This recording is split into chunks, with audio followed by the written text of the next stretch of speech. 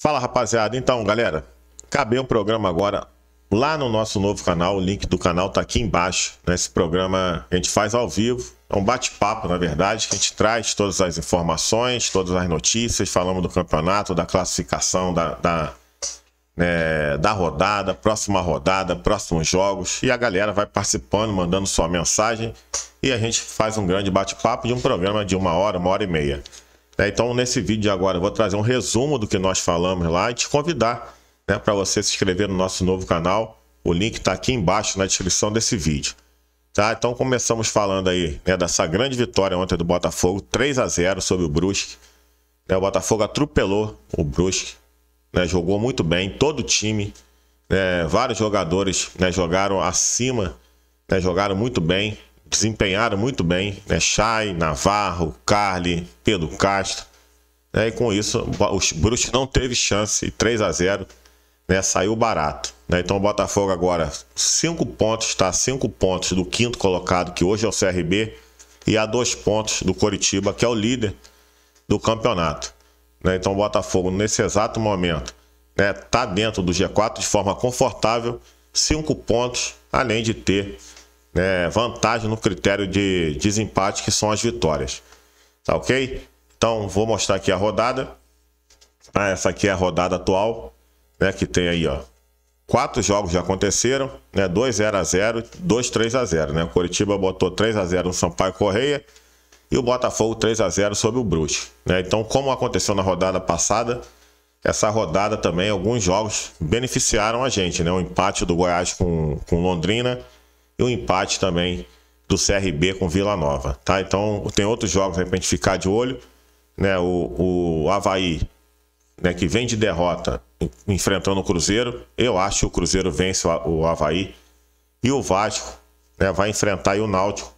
Jogo difícil pro Vasco, né? Porque o Náutico também vem de vitória, ainda acredita no G4. Né, então não vai ser um jogo fácil, tá? Então, e a próxima rodada, deixa eu botar aqui.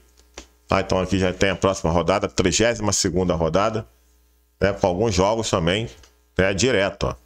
CRB e, e Coritiba, né, o, o Vasco pegando o CSA, né, o Havaí jogando fora, né, e o Botafogo, jogo direto aí também com o Goiás, tá?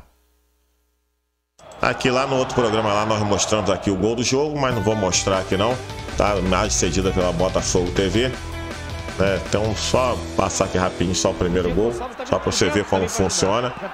É o gol que quem deu foi o VAR, na verdade. Né? Ontem foi uma noite tão mágica que até o VAR funcionou. Tá ok, galera? Então depois validou o gol ali. Tá, essa aqui é rápido, né? Um vídeo rápido, então não vou deixar o gol não. Tá, classificação, como eu falei, Botafogo 55 pontos, 5 pontos do CRB e 2 pontos do Coritiba. Tá? Então, acredito que aí. Acho que o Náutico ainda acredita, né? Uma vitória coloca o Náutico nessa briga, porque o Náutico vai a 47 pontos.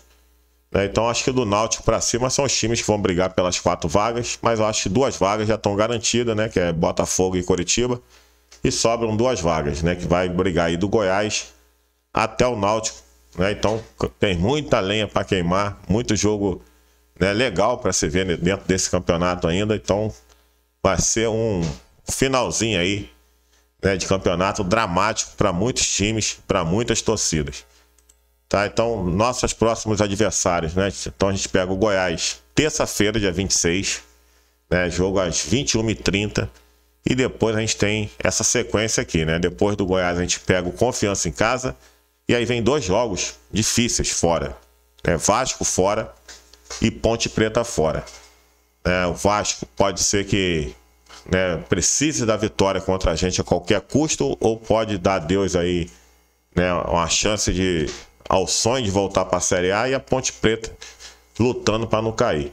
Né, então, depois dessa sequência, a gente, nossos três últimos jogos são dois jogos em casa contra Operário e Guarani e pega fora de casa o Brasil de Pelotas já rebaixado. Então, meu irmão, é uma sequência que, na minha opinião, né, os jogos fora são difíceis, mas eu acho favorável, né, já que se o Botafogo só com as vitórias dentro de casa consegue seu acesso.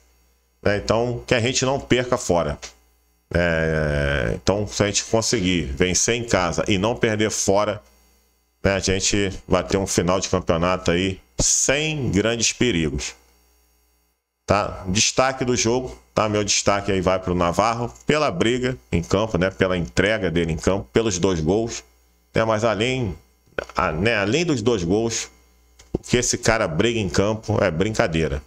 Né? Ele tá em tudo quanto é lugar, dá um trabalho danado para a defesa adversária né? e abre espaço né? para o nosso time que vem de trás.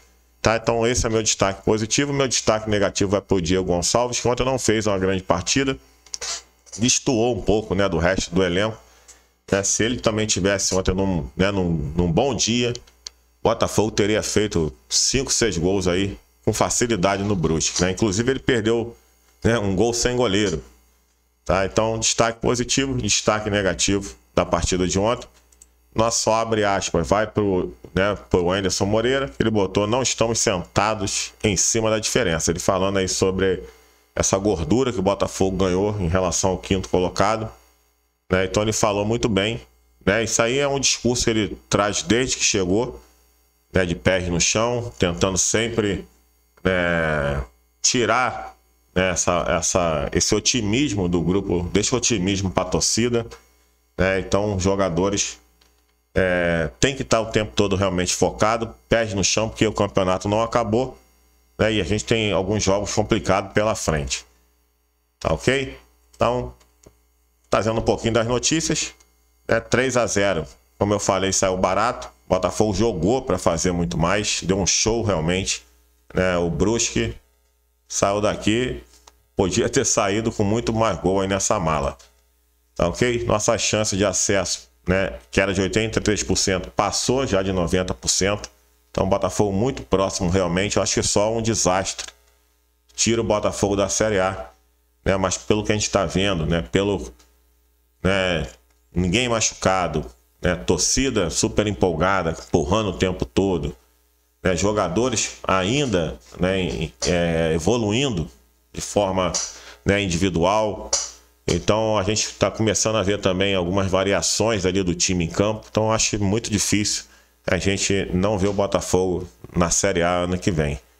Tá? Um lance aí chato que aconteceu, né? mas faz parte do futebol, mas realmente é chato, né? Houve um xingamento ali com a bandeirinha, porque a torcida tem um trauma, né? De relacionada. Inclusive, muita gente tava gritando Ana Paula, Ana Paula, Ana Paula, né? se referir, tentando se referir ao episódio que aconteceu em 2007, mas aí veio a bela atitude do Botafogo né, que o nosso presidente foi lá, uma carta de desculpa, né, pedindo desculpa de forma aberta. Isso aí foi uma, uma, bola, uma bela atitude, uma bola dentro, né, porque o ato botou lá na suma lá o xingamento, né, atitude machista, mas também colocou o pedido de desculpa. Beleza? Em relação ao Navarro, né, ele botou aí uma noite fantástica em que a torcida jogou junto, verdade. Então ele só agradecendo agradeceu, dedicou né, a vitória ao grupo, mas dando aquela moral ao torcedor, que realmente eu estava lá, passamos ao vivo e o torcedor deu um show à parte. Cantou do início ao fim, né, tirou aquela onda, meu irmão. Tá, Marco Antônio, outro também que reconheceu aí né, o esforço da torcida, a briga da torcida do Botafogo, a força da torcida para empurrar esse time e dedicou né, a vitória ao torcedor. Tá? Outro destaque, né, além do Navarro, o Chay, né, cara? Chay, ontem deixaram ele jogar, né? Ontem não teve aquela marcação que vinha acontecendo, ou seja, o Brusque, né, tentou jogar, deixou o Botafogo jogar e aí deu espaço pro Chay. Né, e ele mesmo sem marcar um gol, ele foi né, um dos destaques aí nessa vitória. Né? E quando ele tá bem, quando ele joga bem, tem gol do Navarro. Né? Não sei se vocês já repararam, mas é dessa forma que acontece.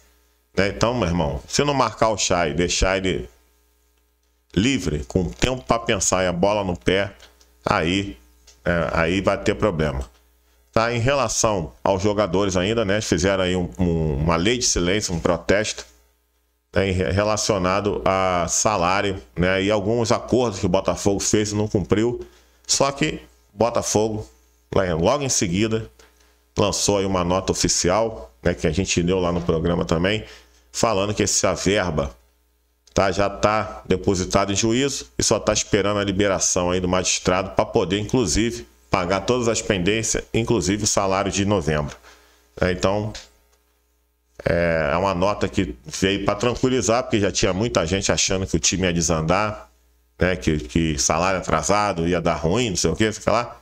Então, essa nota veio para esclarecer, esclareceu, e vamos torcer né, que essa verba seja liberada o mais rápido possível para se pagar né, o que deve e também o salário de novembro. Então, galera, então é isso. Esse foi o resumo aqui né, de tudo que nós falamos lá. E lá no programa, cada assunto que a gente bota aqui na tela, a gente abre um bate-papo e a galera participa junto. Se você quiser fazer parte disso, o link está aqui embaixo na descrição desse vídeo. Valeu? Então, fique com Deus. Você tem aí uma noite gloriosa. Só visão e força. Tamo junto, galera. Até a próxima. Valeu.